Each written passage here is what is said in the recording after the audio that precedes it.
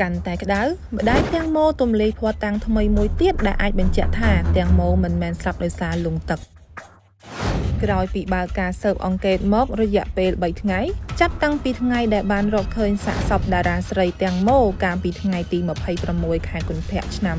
2022កន្លងទៅមកដល់ថ្ងៃនេះក្រុមប៉ូលីសហាក់ជាក្តាប់បាននៅភ័ស្តុតាងកាន់តែច្បាស់ហើយដល់ហេតុថាទទួលបានការបំភ្លឺពីក្រុមមិត្តភ័ក្តិរបស់តារាស្រីទាំងម៉ូផងនិងភ័ស្តុតាងមួយចំនួនដែលលោកស្រី Penida Siri Yotha Yothin បានផ្ដល់ជូនផងកាលពីថ្ងៃទី24ខែកុម្ភៈឆ្នាំ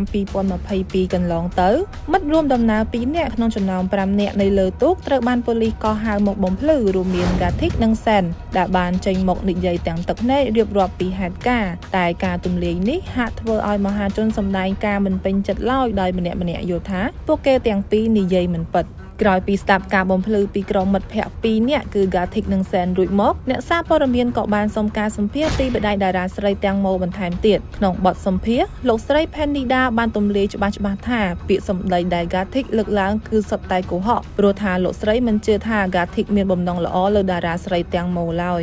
ថ្លែងក្នុងបទសម្ភាសន៍លោកស្រី Penida បាននិយាយកូនស្រីលោកស្រីគឺត្រូវបានគេធ្វើបាបរាងកាយនិងផ្លូវចិត្តយ៉ាងពិតប្រាកដលោកស្រីសន្និដ្ឋានថាខណៈដែលនៅលើទូកគឺអាចនឹងមានការអន់ចិត្តគ្នាពោលគឺមានចំនួននឹងគ្នាព្រោះការដែលកូនរបស់លោកស្រីទៅហូបអាហារពេលល្ងាចនោះគឺពួកគេមានបំណងផ្សេងជាមួយកូនលោកស្រីបើសិនថាទាំងម៉ូដឹងថាទៅជួបនេះក្នុងគោលបំណងមិនល្អលើនាងទាំងម៉ូក៏មិនទៅនោះដែរតែទាំងម៉ូមិនដឹងរឿងមូលហេតុដែលលោកស្រី Penida ហ៊ាននិយាយបែបនេះក៏ព្រោះតែលោកស្រីបានទទួលភ័ស្តុតាងពីមិត្តម្នាក់ក្នុងចំណោមអ្នករួមទូក5នាក់ដែលពុំដឹងរឿងនោះបានមកចែករំលែករឿងរ៉ាវទៅកាន់មិត្តភ័ក្តិលោកស្រីហើយមិត្តភ័ក្តិលោកស្រីក៏បានយករឿងរ៉ាវនោះមកប្រាប់លោកស្រីខណៈនេះភ័ស្តុតាងនិងសារឆេតទាំងនោះបានប្រកល់ឲ្យក្រុមប៉ូលីសស៊ើបអង្កេតហើយ